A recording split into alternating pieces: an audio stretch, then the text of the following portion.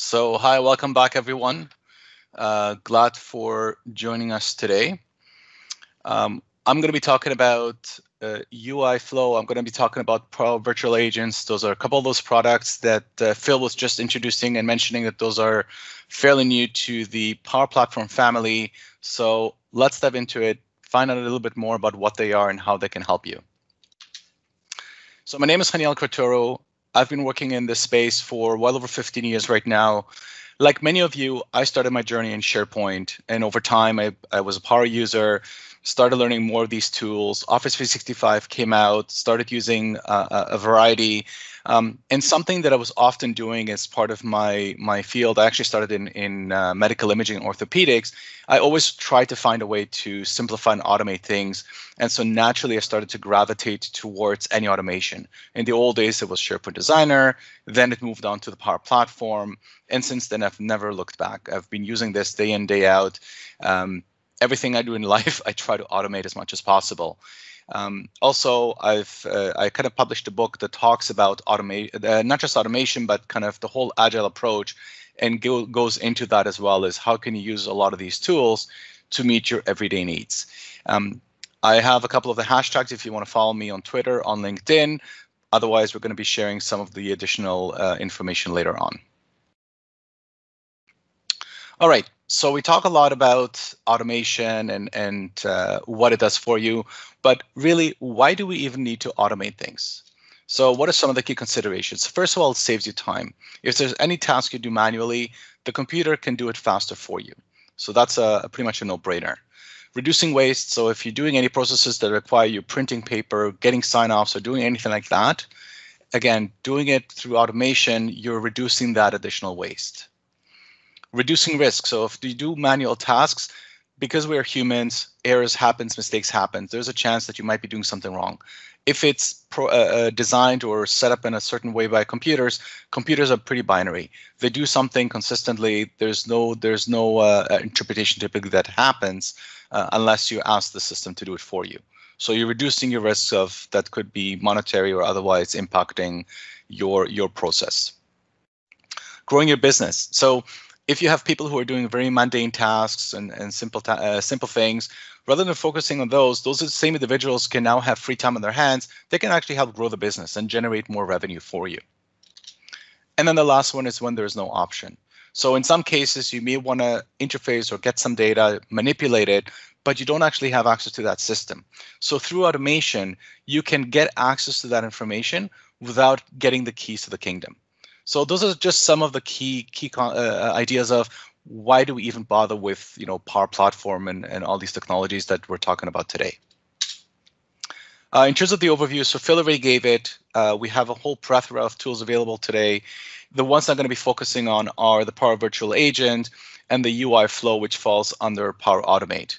The nice thing about it is that those two connect to all the other ones in a very seamless manner to really help you solve your, your everyday business processes. So just very briefly, so Power Apps is kind of your your front end facing tool that your uh, people are going to be using to enter data, to view data.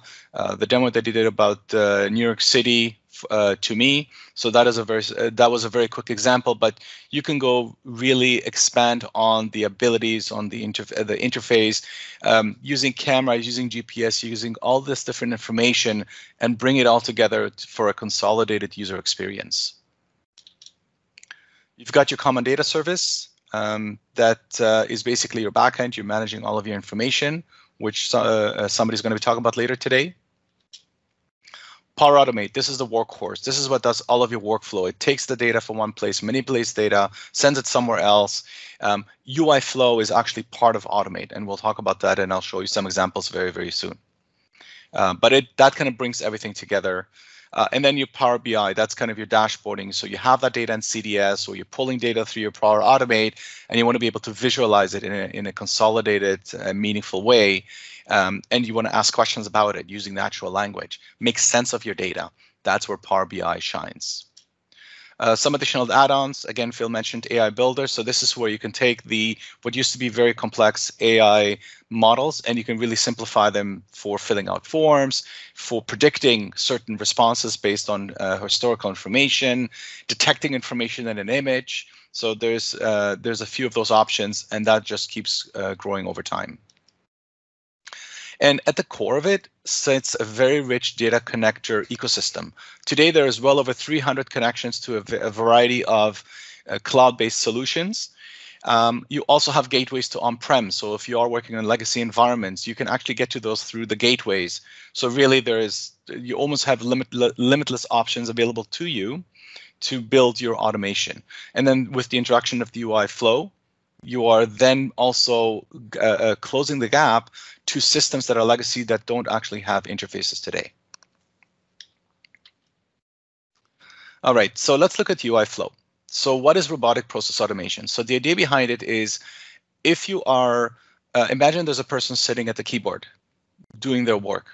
If you're trying to replicate that work, there's typically are two ways to do it. One of them is having a uh, what is called an API or an interface one system talks to the other system is sending a request. Please give me the data. Here's authentication, information about it, or go and update some information. In some cases, systems are old, they're locked down. There may be other reasons why those interfaces are not available to you when you're trying to build out your business process. And so this is where the robotic process automation comes in. You're effectively mimicking the keystrokes and the mouse actions that a user would be performing. And so by by using RPA, you're essentially bridging that bridging that gap. So you see, for example, I have a screenshot of a uh, a mainframe, a green screen.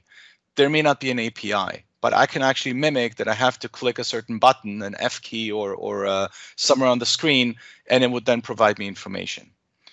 Now, if it's one uh, very few tasks, you may ask yourself, well, I don't really need the RPA. But if you start doing that in volumes, that's where it becomes a lot more beneficial.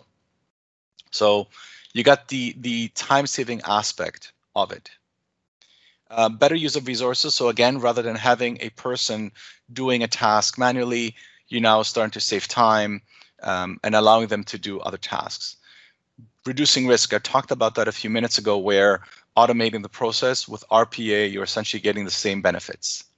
Uh, greater scalability, right? So imagine you have to repeat the same task over and over you're basically uh, uh, allowing yourself to do that very rapidly than having to build up a whole team of individuals who need to do it. Um, and also building engagement success. So you're, you're getting more information, you're being able to provide answers more quickly. A uh, very quick example, I was working on a project that had to do uh, some anti-money laundering. We were looking at millions of transactions. Uh, and the calculations was that we would need an army of probably a hundred different people to just go through it in order to get to uh, to all the information uh, and process it in time for when the client needed it. By using RPA, we were able to put something together, build out a solution in about a week, and then run it at a much much lower cost and still provide all the information on time. So very simple high, high level example, but there really are a lot of possibilities available. So UI Flow is essentially Microsoft, one of Microsoft's answers to RPA to automation. Uh, it was rolled out last year in November.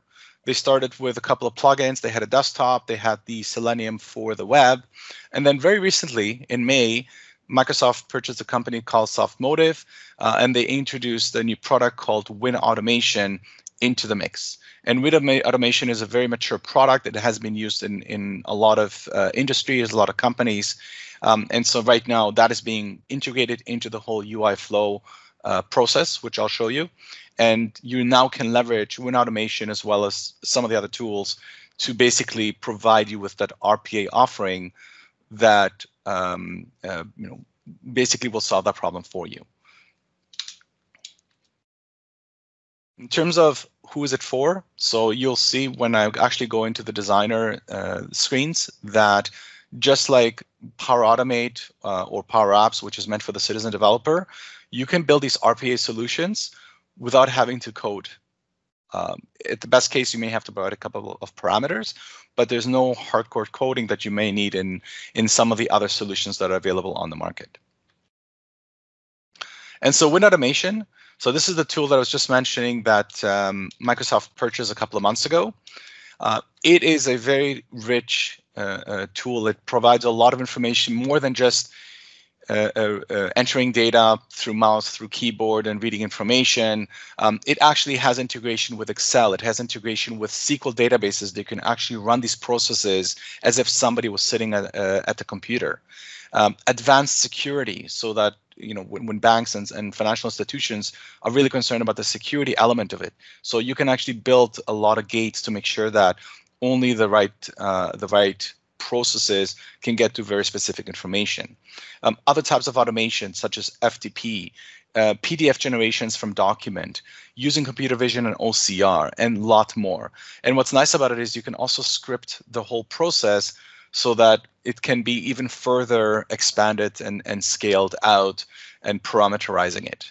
Um, and you can do this for desktop solutions, you can do this for web solutions. So let me show you a very quick example. here's a simple automation tool that I built, which is going to ask for a an amount of money. It's going to say what is my current currency and what is the currency that I want to convert it to. Suppose there's no API today. There's a lot of websites, Google, Bing, others, where you can get that information. But suppose that there was no API available and I wanted to get that information. So as you can see with a couple of uh, actions, and I'm just going to open up one of them here, it's just asking a question. I want to store a variable. Where do I want to put the amount? I want to launch a website, and I want to get the details, and I want to close the browser. So a couple of actions. And what I'm going to do now is I'm going to go to my flow window right here. And I'm actually going to trigger this workflow.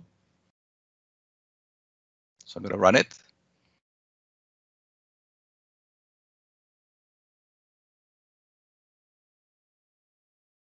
There we go. Okay, so let's say I want to do 2,000 Canadian dollars and I want to convert it into British pounds. And what you'll see is in a couple of seconds, it's going to pop up a window. It'll stay on for about a second or so right there. And then it's going to close down again. But what you just saw was by, it was basically running this script. So all I, all I had to do is in my flow, I had to, if I bring up my window again, right in here, and I can show you what it looks like. I literally had a trigger where I'm asking for the amount and for the three values. I call my flow, give it the amounts, and that was running my win automation, which was basically those three or four steps to open up a browser, enter the information, extract the information from the actual page, and then return it to me. Now imagine that you have a system that has tens or hundreds of fields. Just building it out and, and having a system understand what it needs to get from where, it can do that for you and store the information um, and process it in other ways for you. Um, now, one of the nice things is that what you just saw is this Win Automation workflow is running as part of a Power Automate flow. And so before when I talked about the fact that there are over 300 different connectors available to you, guess what? Those 300 connectors, you can actually leverage information from them to feed your RPA workflows and then get information, get uh, uh, some outputs from your RPA and pass that back into those same 300 or so connections. So all of a sudden, you have great expandability in terms of what you can access. So that 300 number has basically gone up almost limitless because whenever there's no connection, you use your RPA for it. Let's do another uh, example of UI flow, and this one is using the uh, the previous solution that they had. The idea behind this is I have a SharePoint list here, and I've provided it a number of names, and I want to know are these people uh, MVPs for how long, what is the category that they're that they're MVPs in, etc. And so I have my, my workflow and I'm going to just run it. And what this workflow does is similar to the one that, that I was showing. It's now going to go and I'm going to run it. It's going to open up a web page. Every, for every individual, it's going to go through. It's going. It's opening up a web page, which is the MVP, the Microsoft MVP web page. It's going to enter my name in here into this window. What it's then going to do is going to go to that page, look at that individual, found a match, go in, and then look on the left-hand side, there's going to be a blue bar. It's going to pick out the category. It's going to pick out the first year awarded. It's going to pick out the uh, uh, the number of years the individual has been an MVP for, those three fields. And then what it's going to do, it's going to go into the SharePoint list, and it's going to populate this information. And so if I go and refresh my page now, it should be showing up any moment. Okay, I'll wait for that in a second, but take my word for it that you'll see the information popping up here in the next couple of minutes. It'll gonna it's gonna have all the answers. There we go. This is my name and my information. And now it's going to continue to go through, but let's continue with the talk and come back to that in a few minutes. Okay. So I'll, I'll refer back to this, uh, the example that I just did a, uh, a few minutes ago with the UI flow. Um, we're going to look at those results and see how we can actually leverage RPA for other areas. So let's switch gears now and talk a bit about the virtual agent. So when we talk about virtual agent, what we're really uh, talking about is a, a, a chatbot. So imagine you have a person who's typically answering a phone call or online, um, an, an operator or an attendant to provide information to a user. And so what chatbots do, they replace that individual. The idea behind it is that it uses text-to-speech understanding or text-to-text, uh, and is trying to provide a better experience to the user. Now, typically, how do you know if a, if a bot is good? There used to be something called a Turing test, which is a test that says that if a person is interacting with a system and they cannot tell that it's a computer, if they think it's a human, that means that that system has passed the Turing test. And only recently that was actually achieved, where uh, some systems were built, some chatbots were people could actually not tell that they're not talking to another to a, to a machine. They thought they were actually interacting with another human being. So overall in the industry, there's a lot of advances that are being made in this in this field. And so what are the things you want to think about when it comes to chatbots? First of all, you want to improve the the uh, the user experience for the user, uh, and especially when you talk about shopping. The longer you keep somebody on the website, the better experience they have, the better chance you have for conversion. In other words, closing that sale. So you want to increase the number of visits. You want to uh, uh, uh, prolong the number of visits. Um, in terms of cost savings, right? So having a computer run a chatbot is going to cost you a lot less. There is an upfront cost for setting it up, but once it's set up, it's going to cost you less operationally than having a number of attendants who then need to answer the phones uh, and provide the information. What's also nice about it is that you can do insights. So as people are clicking through, asking questions, the computer can actually take that information, analyze it, understand what is popular, what is not. Based on that, maybe you want to go in and highlight certain other information on the website to then draw more people in, or or when somebody's browsing for something, they all of a sudden see, see an ad for something else that might be related or something that other people may have looked at. And all of us and you a lot of you are probably seeing that when you just go to google or bing and you start seeing these messages pop up these advertisements. Same idea with the chatbots. Um, another consideration is where do you use them? So today most of us are using whether it's uh, it's uh, uh, the iMessenger or WhatsApp or Facebook Messenger, whatever it might be. Um, we like those tools, we're used to them. We don't want to start adopting yet another tool. And so the idea is that these chatbots can actually be integrated directly into those technologies so you interact with them just like another person. Another good example is Microsoft Teams. So there is a lot of chatbots that can be integrated and plugged in directly into your team that allow you to then interface. So you don't have to uh, build another solution or, or, or integrate something. So I'm getting some feedback. Somebody has their microphone on. Thank you. So with the Power Virtual Agent, the way that um, that it works is uh, it's it's highly uh, visual. Again, you don't need to be coding or anything like that. You can give it a set of questions you can give it uh, the answers for it. So the questions are called topics, and then the responses. Um, and there's essentially a decision tree that it goes through to then give you the uh, the next question or give you a response, and it start, it starts to drill through. What's also good about it is I talked about UI Flow, I talk about Power Automate. Power Virtual Agent is part of that. It fits into that whole picture. So you can build a virtual agent where you ask the user a question, then takes that that information, passes it to a workflow that then opens up to all these these connectors and other uh, environments that I talked about, and then bring that back right into the virtual agent. So the user doesn't even know how how far of a spread the system has to really get to the answer.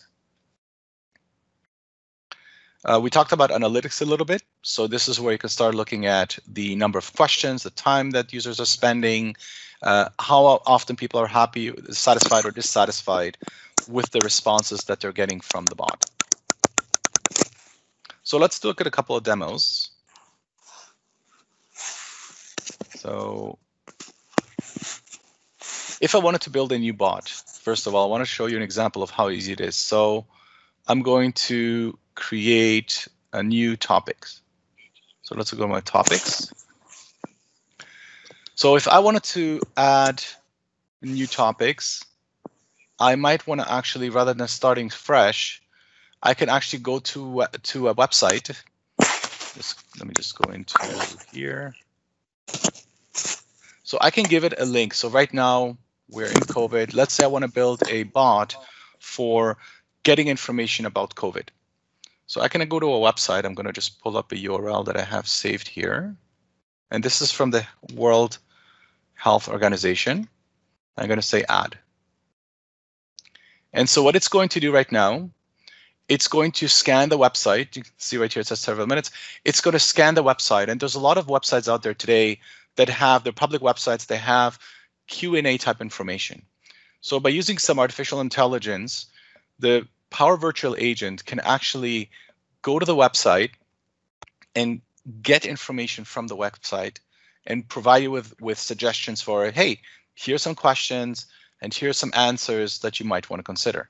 So if I go to suggested, so it hasn't done it yet. It's still working on it. Okay. Um, but it's going to, in a couple of minutes, it's going to come back and it's going to give the uh, the suggested questions and answers for this specific website. Okay, so while it's doing that, let me open up another window here.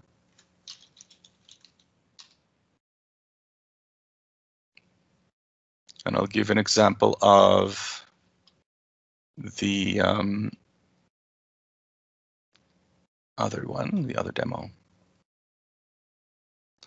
So remember I was doing the demo before for the UI flow where I was getting a list of my MVPs. So I'm going to go into a topic. Actually, I'm going to run my bot here. And I have a question called MVP winner. Or I can, or any one of those questions would would invoke the same the same response. I'm going to go into the builder so you can see what happens here. So I have my, my any one of those questions would invoke it. So I'm going to say MVP winner. And so what it's doing, you can see right now in green, it ran the trigger, it recognized it. So now it's going to ask the question, who are you looking for? Go look for you, Phil. I'm going to search. It's going to run a workflow, which we'll get to in a, in a minute and then it's going to say, you know what, sorry, but Phil is not an MVP. Well, let's say this was useful. I'm going to try the same one again. But now what I'm going to do is I'm going to actually give it a name of one of those individuals that I know about. So let's say Hugo Bernier. So I'm going to go back to my workflow. I'm going to say MVP. Actually, I'm going to try a different trigger. So this time I'm going to say uh, who has the most MVP? Uh, no, just most MVP awards.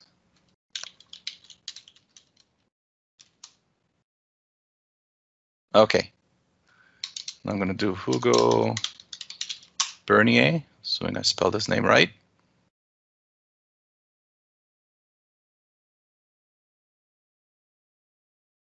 Great, so now it tells me Hugo Bernier is an MVP for one year since 2020 in the office development category. Pretty slick. you can see the logic that it actually went through. And what I want to do is I want to actually show you the details of the workflow that it ran. So I'm going to go in here. So those of you who have been working in Power Automate before, this should be really familiar to you. It's just a regular Power Automate workflow that I'm using as part of my virtual agent. And what the virtual agent does, it has a couple of uh, parameters for input. I'm getting my items from the SharePoint list, so I'm basically looking for a match where my title is equal to Hugo Bernier, and then I'm basically telling it inside the workflow if um, if it found a match, parse out the information, and then pass those parameters back into my virtual agent. Okay, so that's the example of um, of how you could do a, the Power Virtual Agent. If I wanted to go and I wanted to start modifying it, I can say, you know what, I'm going to ask another question here. So what kind of a question do I want to ask? Is it a multiple choice? You have different options.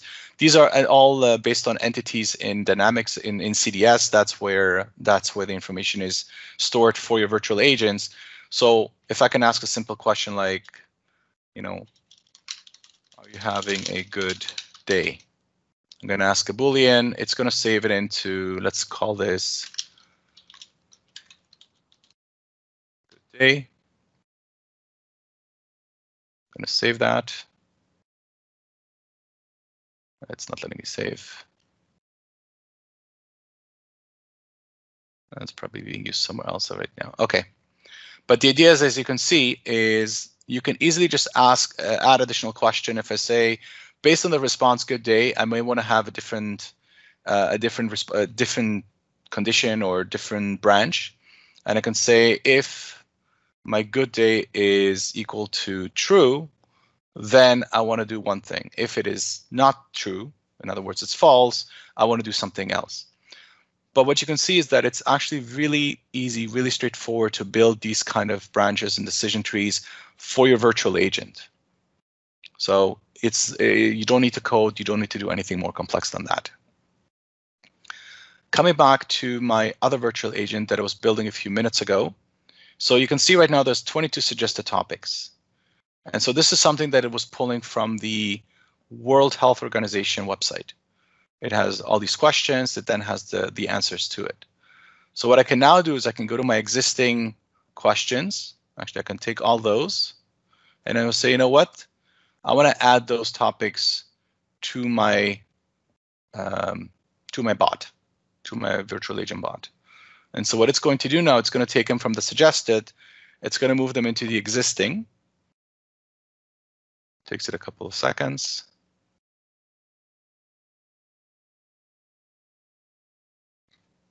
Just give it time. Yes, of course. Oh, there we go. So right here, where are they?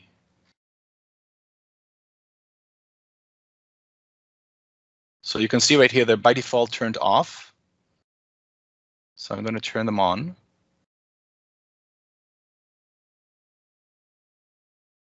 And OK, this is obviously there's something in the system. It's the side effect of doing a demo. But normally what would happen is all these would then appear in my bot. And as soon as they're turned on, I'm then able to start leveraging them in my bot. It's as simple as that. I don't need to do anything else. So maybe it will actually let me do it.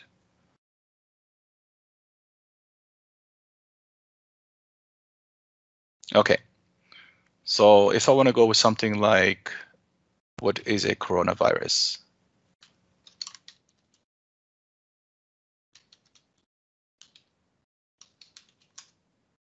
If it worked, here we go. So it's giving me all this information. I didn't have to type in anything. All I had to do is just say, go fetch me all these questions, fetch me the related answers. It built a bot for me within a couple of mouse clicks.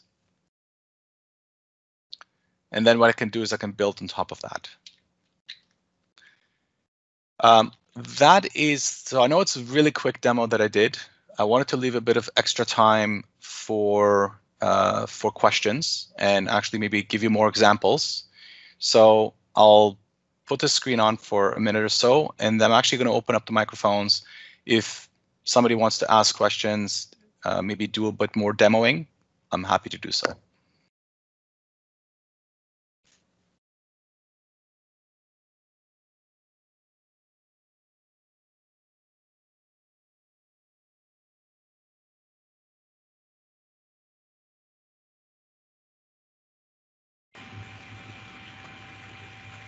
Hello, Haniel. Hi. Hi, this is Michelle Norton from New Jersey. So Hi, I have a question. Are are any of these flows going to be um, saved in a library somewhere? We can look at them. Um, I can I can definitely export them and I can put them for you in a library. What I'll do is I'll probably share them with the uh, the organizers, um, so that they can share them with uh, with the rest of the attendees. Thanks, that'd be great. For sure. Appreciate it. Thank you. Yep.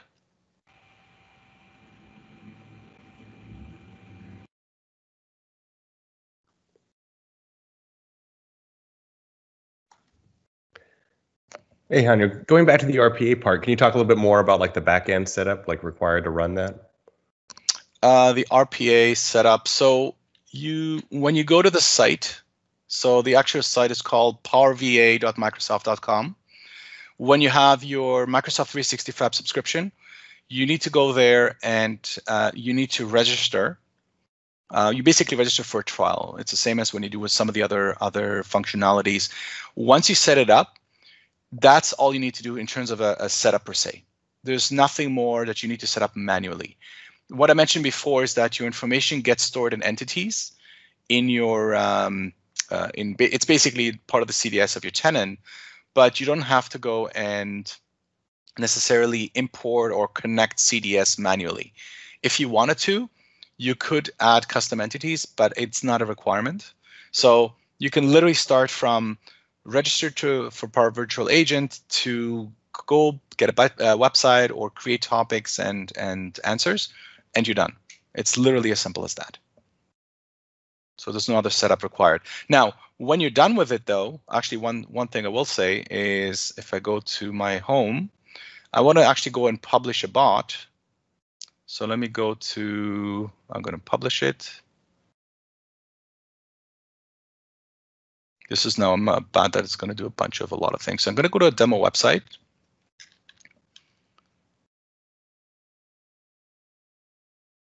And so imagine this is just a, a uh, an iframe, uh, um, an embedded component in a team, in a SharePoint site, in you know look at directly on your phone, but you have the same information available.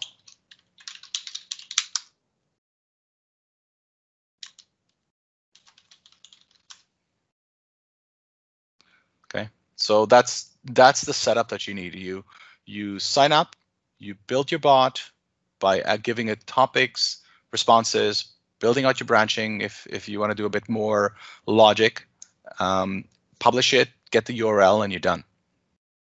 That's that's kind of the the end-to-end -end process. And here you can also get information about how to publish, how to embed. Uh, once you build a, a, a, virtual agent and you publish it, you can actually go into Teams and there's ways to host it in Teams or other places.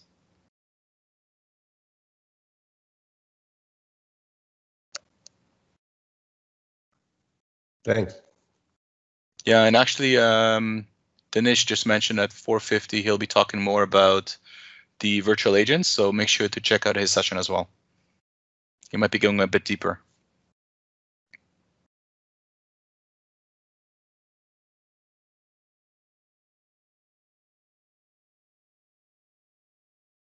Any other questions? Anything else you guys would like to see? We have a bit more time.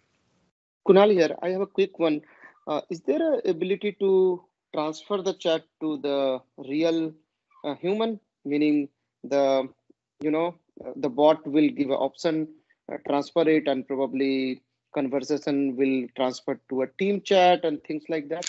Absolutely, absolutely. So what you can do is, if I go into my work, so let's say right here, what I can do is, uh, and I'm going to do this on the fly there's a question here which is um, Okay. Let's say there were some questions asked in here. We don't need this. So question, who are you looking for? You get the response. And then right in here, I can add another question. I can say, okay, this is the, let me delete the end. Okay. Uh, ask a question. I'm going to say, let's make this a Boolean with your answer. And then let's say, uh, let's call this satisfied.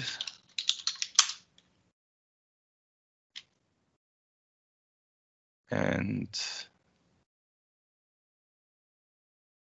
I'm going to do a, and let's say condition, if you say, if the answer to satisfied is equal to false, then I can do here, um, I can do call an action. This is going to now allow me to build a workflow so one of two things, I can pass, I can actually go to a virtual agent and pass the information to another topic, another another virtual agent, but you're still in the chatbot. But what you'd want to do is say, okay, I want to actually go and create a new flow. And then inside of the Power Virtual Agent, the, sorry, in, into the, the Power Automate, I can say input, um, let's say call this the question. And then what I want to do in here is I want to to, let's say, Outlook. Um,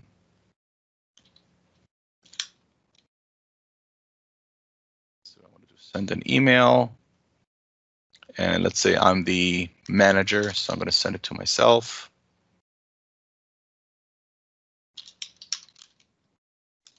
Unsatisfied user. I can say what was the question. Then in here, I can put in the value or the, the parameter.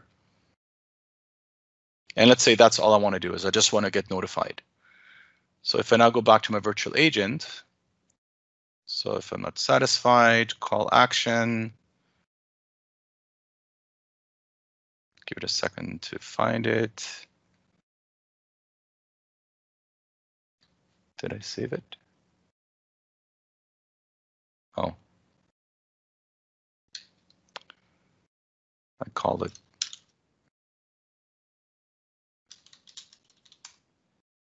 I.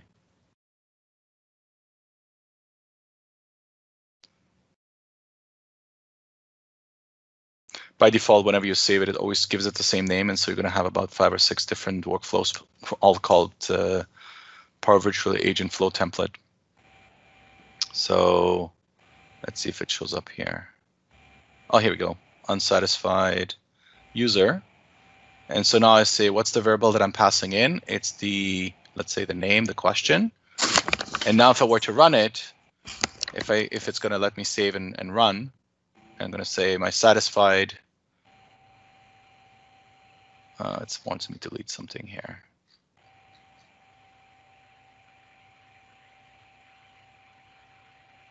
Yeah, there's something here I need to I need to get rid of. But um, that's basically what would happen is I would be able to then pass the information, the the questions, anything that was conversed, whether it's the computer passing the chatbot passing it, or the user providing input, you'd then be able to take those parameters, pass them into a Power uh, Power Automate workflow with the input parameters from the chatbot, pass it to your your uh, uh, your flow, and then inside of the flow you can then do whatever you want. Write it to a team, an email, whatever you want of those 300 plus connected I was talking about before.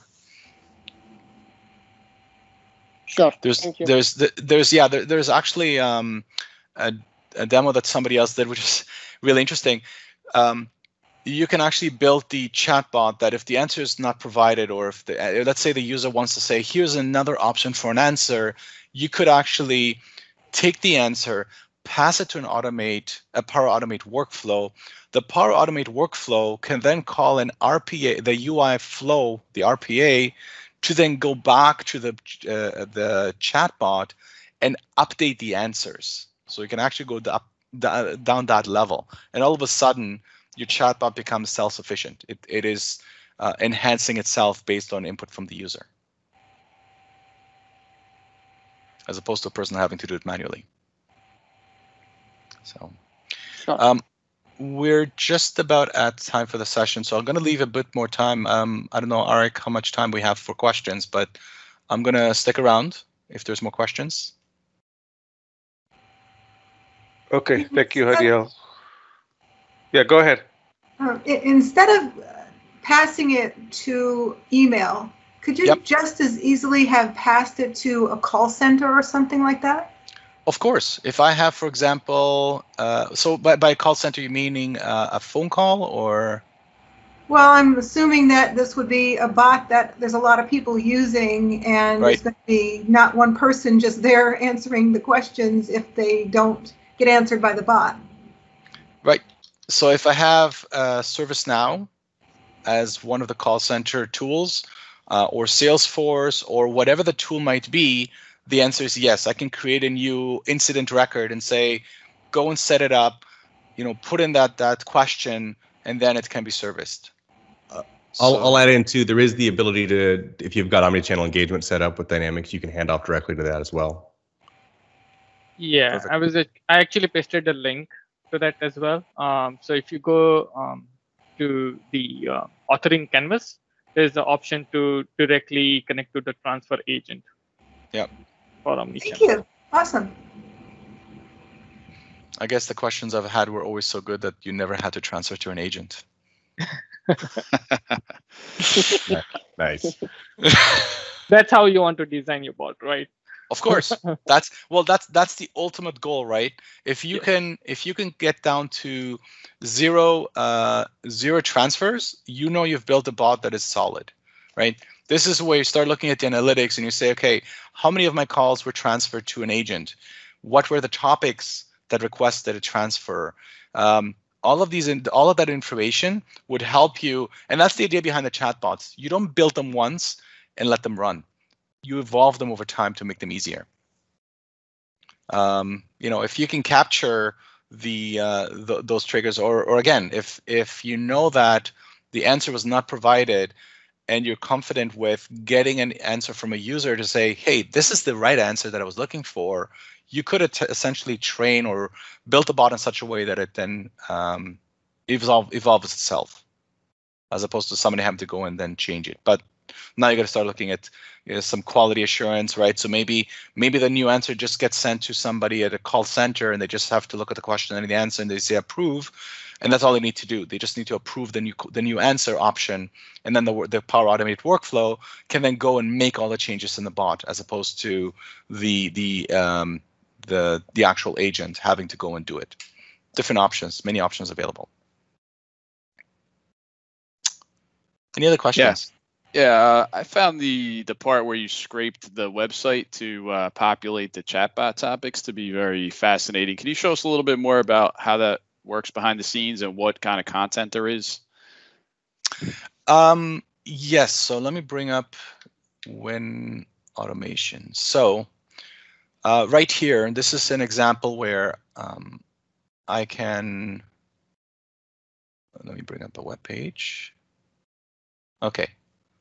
Let's go to the. And let's the example I did with the two thousand dollar. Um, Oh, I was I was talking about the uh, the Oh, the- WHO website to get the chatbot Oh. topics. Yeah. Oh, that one. Sorry. Yeah, yeah. Okay, for the virtual agent. Um, yeah. So basically, again, all all you have to do is if you find a website that has uh, questions and answers. Actually, there is another one here, which is, I believe there's one on explore what it takes to become an MVP. I don't know if that's a Q&A type question. No. But if you have a website that you know has questions and answers, if I go to the ones the one that that I was showing before, it was this one here. So this is where you have questions and answers. And there's many websites on the world that that can provide you these type of Q and A's. Right? Yeah. So the website itself is structured. There's probably some metadata on the web page itself that identifies a question as a question and answer as an answer. And that's what allows the virtual agent to essentially scrape the page and pick up those topics. Yep. And then So- the answers. Can you show us where the answers wind up in here and how it the, that tree? Yep. tree? So let me, uh, here, why don't we do this? Let me create a brand new bot. Uh, NYC English. And go and create that. So that takes a couple of seconds. So it will you will start fresh, pretend we have nothing. No, it will give you a default set of questions when you build a bot. The idea behind it is that as a non-technical person, you may want to say, well, where do I start? What do I do? And so the the default questions that you get with the bot will give you a starting point. It's like, oh, this is how I ask a question. This is how I ask a question with a branching. Um, and what are some of the basic scenarios available? Right. Okay. So there's scaffolding there to. Uh, there's there's some started. yeah some there's some basic scaffolding and i'm as you can tell right now as a consultant i'm trying to fill the time while the bot creation process is happening there you go so right now i have my topics the topics are the questions and Yep. it has 12 standard questions okay there are some that are system generated you cannot change those so you can just leverage those Yeah. uh, but you cannot change them. But here's some examples, some user centric. So lesson one, right? What's a simple topic? If I go in here, I look at the simple topic, and it gives you an example of uh, the different questions, what's the message, and then it gives you uh, some basic text. Now, at the bottom left, if you can see where it says test your bot, make sure to keep that on so you can actually do some real real life uh, real time testing. So if I do store hours, that's one of the questions in here. If I do that, I'm going to say I'm happy with your store hours. Come on, there we go. And then it types this text, and then it says, "Did you find this useful?" Nice. Okay, so Cool. you've got those those basic topics available to you now. If you say, you know what, I don't need those topics. Let's say I know what I'm doing. So I'm going to go to my suggested topics. I'm going to type in that URL again. I'm going to say go and search. Yep. While it's doing its searching, I'm going to delete these existing ones.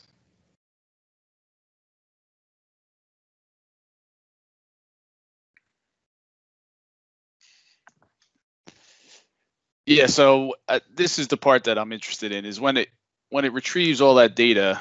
Yeah. Uh, we saw we looked at the topics. I want to see like what how it stores the answers. Can we edit those answers and Yes. stuff? I'll, Okay. I'll, well, well, yeah, I'll get to that in one second. Once I start seeing some of the answers. There you go. Okay. It's faster this time. So I'm going to say select all, add to topic. And so now I'm going to go in here. And it should, oh, it hasn't picked them up yet. Okay. Oh, it's adding them right now as we speak. So yeah, what you'll be able to do is, um, the way that this particular website is, is every one question has one answer. There's no one topic with multiple uh, Oh, triggers. okay. That's that's Okay. how this one is set up. You could, I guess, you could probably set up other ones that has multiple. It's being a little bit temperamental right now.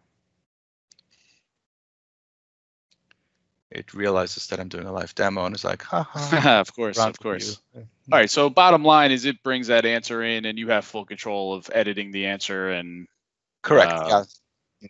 more to it, enhancing it, changing it, whatever you want to do. Exactly. So let's go to the simple one here. Uh, if I want to go to what is coronavirus? So the question is, what is what is a coronavirus? I can also say, you know what? What is COVID? Okay. So you 19. can enhance that. Too. Yeah, and I can say, uh, what is uh, COVID? So the thing is, you got to be exact with your questions. If I say, I believe even case sensitive, if I say, uh, what is COVID without the question mark, it may, it will not find an answer. Oh, so it's that sensitive. Okay. Right now, I believe that's what it is right now. Uh, I think we're looking at making some changes, but if I do what is COVID question mark, now it's an exact match. So now because uh, oh, Okay, we just have to be sensitive of time here too. We're running Yep. up against our uh, our next uh, session. So I appreciate you going through this and Yeah, no worries. But yeah, you can you can build it out and and then you can you can do the answers. Um, uh, you can add the answers to these questions as well, modify all of that once that data has been brought in. great. Thank you very much. Yeah, my pleasure. I have quick follow-up. Yep. Uh, Okay, how about the continuous learning process, right? So let's assume there is an existing call center, right? Who serve their customer through email, uh, through existing chat channel. Yep. uh, right?